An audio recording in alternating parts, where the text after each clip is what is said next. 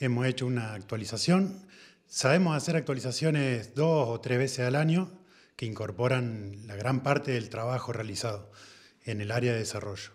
En esta oportunidad se incorporó una funcionalidad que pueden ver todos los usuarios cuando acceden, que es el que se empezó con una primera etapa de adaptar Evelia a que pueda visualizarse con distintos idiomas.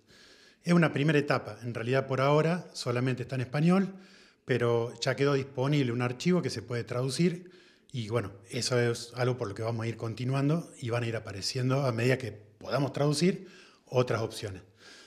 Después algo, sabemos trabajar mucho con lo que es bajo demanda de los usuarios y algo que hacía tiempo que veníamos eh, teniendo como una funcionalidad a realizar era la de que las actividades, los trabajos que los estudiantes entregan, eh, pueda ser creado desde el nivel de aula.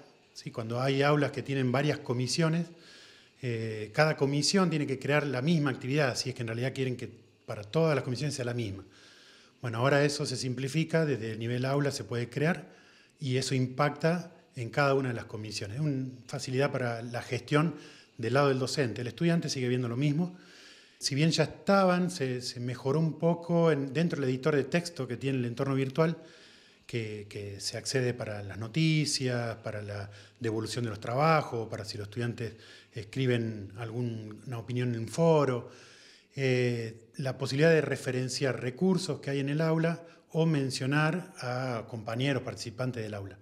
Ahora está disponible como botones y una, está mucho más eh, de fácil acceso la, incorporación. Y después tenemos un grupo muy grande de funcionalidades que vamos desarrollando, que quizá no se ven tanto, pero que tienen que ver un poco con el crecimiento que ha tenido en el uso del entorno virtual. Eh, hemos hecho estadísticas de, del pre-pandemia y post-pandemia. Antes de la pandemia teníamos eh, un promedio de acceso de, de 3.000 accesos diarios y ahora tenemos 7.000, 8.000 accesos diarios.